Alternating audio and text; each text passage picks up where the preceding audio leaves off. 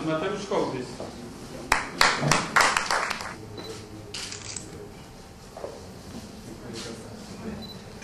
Pan Jerzy Jańczak.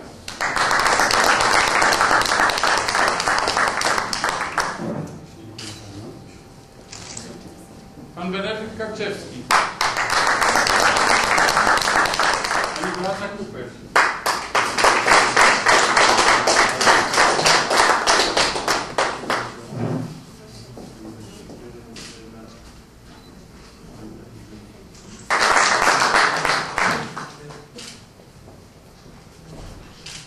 Pan Kazimierz Masz.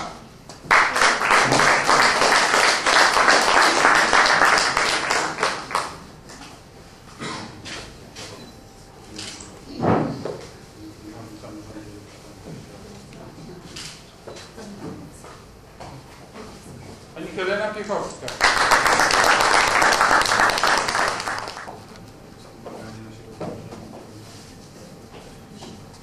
Pani Bożena Sikora.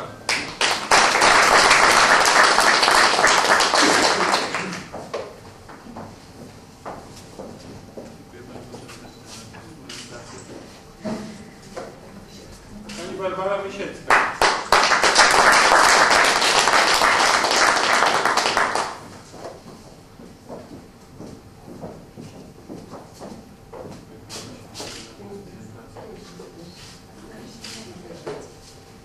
I pani Krystyna Truszkowska. Proszę.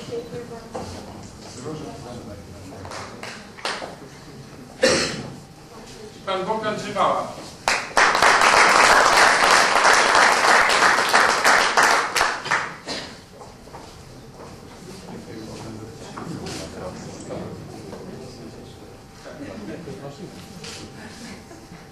Pan burmistrz Marcin Mędrzejewski.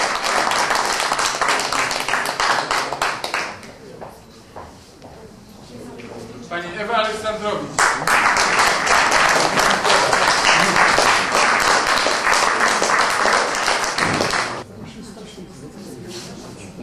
Pani Jolanta Popuklarska.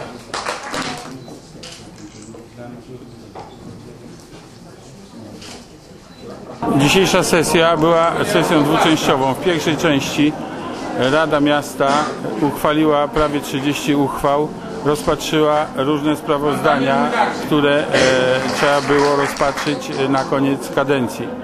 Następnie drugiej części była część uroczysta, w której e, podziękowaliśmy radnym, E, wspólnie z panem burmistrzem e, sprawozdanie złożyli szefowie e, komisji poszczególnych swojej działalności przez okres czteroletni i była to taka właściwie część e, podsumowująca, e, w której między innymi złożyliśmy podziękowania wszystkim, którzy z nami przez te cztery lata współpracowali dla naszego miasta. Radni wszyscy otrzymali statuetki, po- podziękowanie za cztery lata, natomiast naczelnicy wydziałów, dyrektorzy szkół, szefowie spółek miejskich otrzymali podziękowania tradycyjne. E, Bardzo się cieszymy, że przez te 4 lata mogliśmy z nimi e, bezkonfliktowo i e, jak widać e, w naszym mieście dość owocnie współpracować. Kadencja była trudna, aczkolwiek oceniam ją pozytywnie.